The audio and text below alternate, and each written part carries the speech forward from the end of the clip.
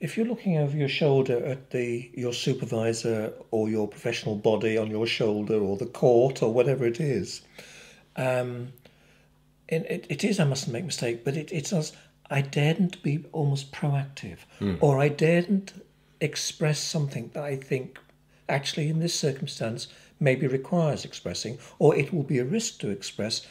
But having thought about it, I think it would be best to try to address. You know, so that sometimes it, it is about in in aspiring to do the work well, the demands of the relationship and this particular person, um, th- that actually you're then caught between checking and, and being just very acting very conservatively or taking the risk. And I think so. I think sometimes it's that it's about that taking the risk, which we could then con- conceptualize as as making a mistake as well. Mm.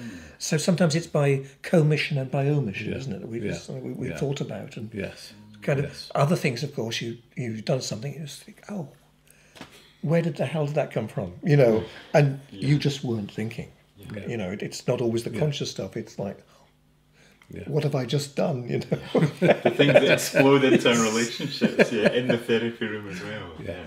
Yeah. As, I've just remembered uh at, at college we um, we visited Rampton. Uh, you know, I'm going back a long time, now, 30 years, a high security prison. And we were talking to some of the, the inpatients, you know, and one guy was telling us how he, I don't know, he collected stamps or he collected football magazines, club magazines or something.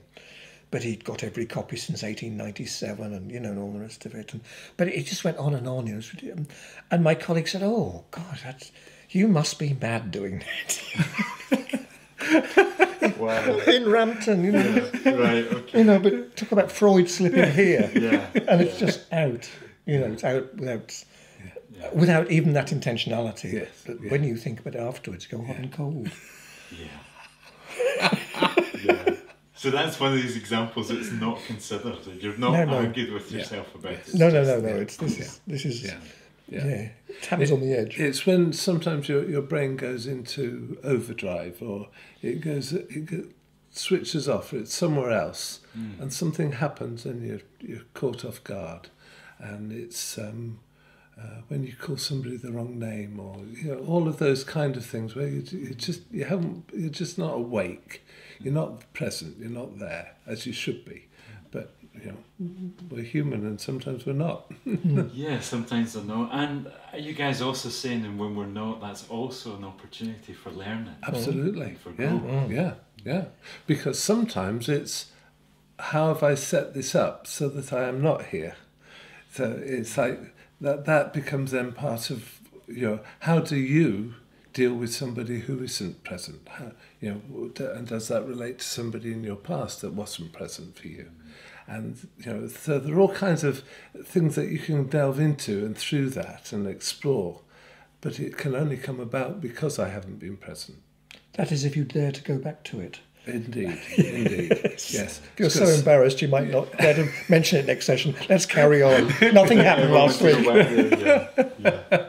and that's that's also the the other aspect of mistakes is owning them and being you know and saying, look, this has happened. What do we do with this? How do we deal with it? What what can we get from this? Rather than saying, mm. "Psh, psh, no, let's forget that happened. Sorry about that. Or, or even worse, what mistake? I didn't make a mistake. Yeah.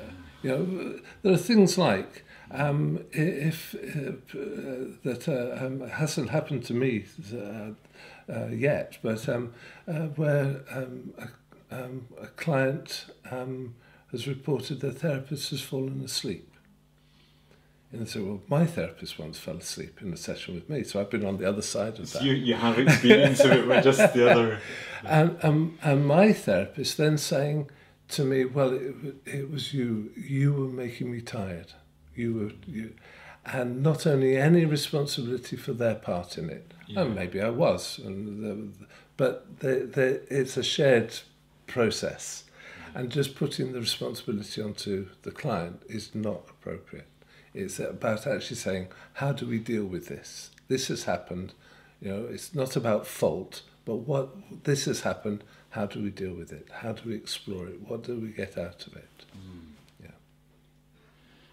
I'm really thinking about then the two people really being in the relationship together Exactly.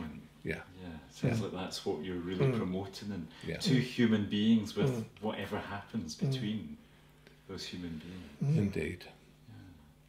And I guess at that point, their relational life is on the edge, Mm. isn't it? And what was one of the one, one of the existential philosophers talks about you're really living when you're on the edge. But it's too much for us to tolerate most of the time. Yeah. But I was thinking, you know, if if if there has been the moment that can be owned, it is an edge in the relationship that has the potential to take you further or to bring you more together or to do to, to, to yield a lot, but it feels very risky because it is on that edge. Mm-hmm. Hmm. You know, so so I also understand therapists who kind oh no, I never made a mistake. You go into denial or distortion or hmm. let's change the subject or Yeah, yeah, it's it's perfectly understandable because it's quite fearful. yeah. Hmm. Uh. So, like, how do we as practitioners be ready to stay alive in the relationship and be really alive on that edge if the opportunities Mm-hmm. there, as opposed to watching our shoulders for Mm-hmm. that we, that we remain ethical but we remain alive. Absolutely. Yes, absolutely. I agree. Yeah. rather than kind of going backwards. And I, I, the thought I just had when you said that, John, was also if you're working in a busy practice or you have a busy day, say you, you might see four or five people a day, um, how do you remain alive every session? I think it's it's not just the one hour; it's the sustained, the sustained practice. I think is is is then the challenge as well, and it is a challenge hmm. maintaining that level of here and now-ness Mhm. minute for minute every hour is quite something. And connectedness. Hmm. Hmm. To remain in that state for hour after hour. Hmm. Yeah, yeah. To offer each of our clients that experience. The same equivalence, or Yeah. yes. Yeah. Yes. Yeah. Wow, so lots of wonderful questions. and, and I guess you both are then offering a space to, to think and consider those kind of questions and for that to be held by your considerable experience of of the therapy world and, and of making mistakes, I guess. Of course, I've never made any. No. You know, no. so um, I don't know what you're saying that for. but in a way, it yes, I mean, uh, in a more holistic sense, Yes. yeah. we, I mean, it, it. We really would like to give, or to offer the opportunity for people to, to explore, you know, with others in a supportive environment, or to dare to to have the opportunity to dare to express almost that which is now unexpressible. Yes. We think in this yeah, climate at its most serious, Yeah. Yeah. um, and that that is that is serious, but it's, it's really it's just, that that's very important. I think, Yeah. Yeah. isn't it? Serious Yeah. commitment. There's tremendous pressure for people not to make mistakes, or and so they, uh, we're hearing from our supervisors more and more. I can't make a mistake. I'm not allowed to make mistakes. The the pressure from, um, especially from you know, um, accreditation organisations and so on. It's really powerful that you're not allowed to make mistakes. Um, and if it's if it's not